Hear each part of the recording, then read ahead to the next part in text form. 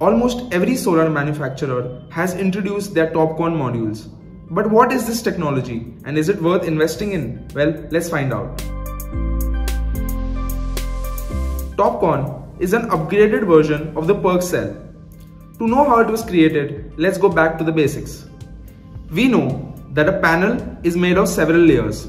First is the glass sheet, then the solar cell covered by an encapsulant material on both sides and then finally the backsheet. The light hitting these panels contains tiny photons which hits the cell and is converted to current. But sometimes these photons which could be generating electricity bypass the cell and hit the backsheet which results in lower energy generation. But a few decades ago, researchers found a solution. By adding a layer at the back of the solar cell, some of these photons could be given a second chance at energy generation. The addition of this passivated layer created what we know today as the PERC technology. But wait, it does not end there. Few years ago, researchers found an interesting thing.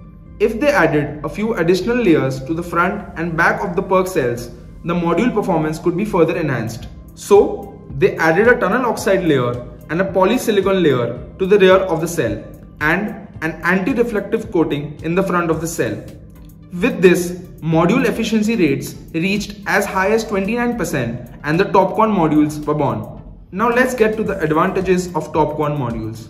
Number 1. Their efficiency is significantly higher than traditional mono panels, which means they can convert more light into electricity, generating a lot more power in their lifetime. Number 2. TOPCon modules have a better low light performance and can generate more electricity in hot environments. Also, TOPCon bifacial modules can easily outperform traditional bifacial modules. Number 3. These modules degrade less and slower over time, making them perfect for long-term projects. Apart from these, we know that TOPCon is created by modifying PERC modules. This makes it convenient for solar manufacturers to use their existing manufacturing facilities to create TOPCon modules. Finally, let's go back to the question we asked before. Are TOPCon modules worth investing in? Yes, definitely. This technology is not only more efficient but also more reliable than its predecessors. And if you're looking for a great TOPCon module, RenewSys is the way to go. The new RenewSys N-type TOPCon modules have an efficiency of up to 23.26% and a bifaciality rate of 85%. These made in India modules can perform well even in extreme weather conditions and degrade less than conventional modules. Check out the link in the description to know more about RenewSys Top 1 modules and comment down below if you have any doubts about this technology.